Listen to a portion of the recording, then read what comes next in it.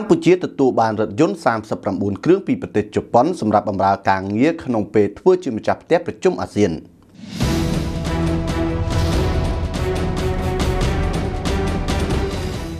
ក្រោយសម្ដេចតេជោហ៊ុនសែននាយករដ្ឋមន្ត្រីកម្ពុជាបានទទួលញញួរពីប្រទេសប្រ៊ុយណេសម្រាប់ធ្វើជាម្ចាស់ផ្ទះនៃកិច្ចប្រជុំកម្ពុជាអាស៊ាននិងប្រជុំពាក់ព័ន្ធនាពេលថ្មីថ្មីរួចមកនៅថ្ងៃទី1ខែវិច្ឆិកាឆ្នាំ2021នេះលោកប្រាក់សុខុនឧបនាយករដ្ឋមន្ត្រីរដ្ឋមន្ត្រីក្រសួងការបរទេសខ្មែរបានទទួលរថយន្ត39គ្រឿងហើយពីភាគីជប៉ុន បើតាម Facebook របស់លោកប្រាក់សុខុនរថយន្តទាំង39គ្រឿងនេះជាជំនួយក្រោមគម្រោងកម្មវិធីអភិវឌ្ឍសេដ្ឋកិច្ចនិងសង្គមរបស់ជប៉ុនសម្រាប់ពេលដែលកម្ពុជាធ្វើជាប្រធានអាស៊ានឆ្នាំ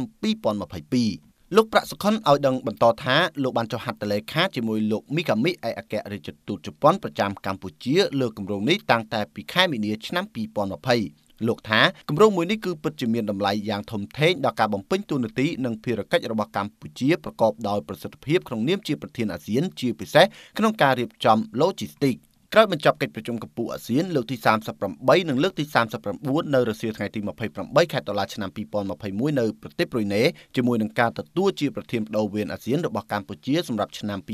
2022សម្ដេចតេជោហ៊ុនសែនបានទទួលញញួរពីព្រះចៅសុលតង់ហាជីហាសាណាបុលគីយ៉ាព្រះមហាក្សត្រនៃប្រទេសប្រ៊ុយណេដារ៉ូសាឡឹម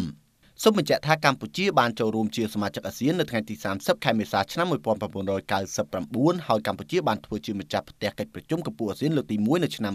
2002លើកទី2នៅឆ្នាំ2012និងលើកទី3នៅឆ្នាំ2022